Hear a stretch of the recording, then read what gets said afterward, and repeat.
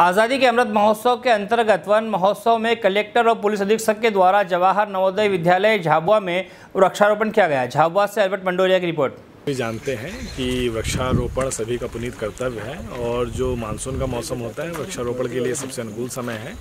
इसी को देखते हुए यहाँ झाबुआ ज़िले में आदरणीय डेफो साहब के द्वारा और उनकी समस्त टीम के द्वारा आज वन महोत्सव के कार्यक्रम में समस्त ज़िले के विभिन्न विभागों के कर्मचारियों को आमंत्रित किया गया है।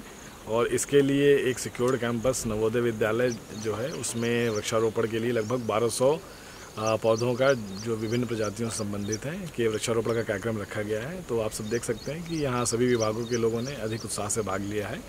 और आप सभी के माध्यम से हमारा अनुरोध है कि इस मानसून के सीज़न में अधिक से अधिक वृक्षारोपण करें, ताकि जो झाबुआ ज़िले की जो वन संपदा है, उसको बढ़ाने में हम लोग अपना सहयोग प्रदान कर सकें। इसके साथ ही साथ जैसा कि पिछली टीएल में हम लोगों ने डिसाइड किया था कि आगामी बुध इसके बाद के बुधवार को 20 तारीख को, हम throw a seed ball campaign चलाएँगे।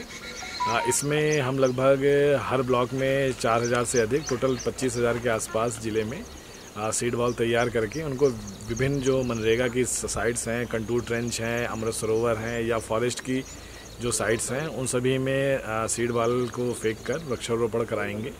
तो इस प्रकार विभिन्न पर्यावरण संबंधित कैंप लगातार होते रहेंगे और हम सभी ने हरित झाबुआ का संकल्प लिया, जिसको हम आगे बढ़ाएँगे। धन्यवाद। हेलो फ्रेंड्स आप देख रहे हैं हमारा channel S W twenty four news हमारे सारे वीडियो सबसे पहले देखने के लिए आप हमारे चैनल को सब्सक्राइब करें और पास में लगे बेल आइकोन को दबाना बिल्कुल भी ना भूलें।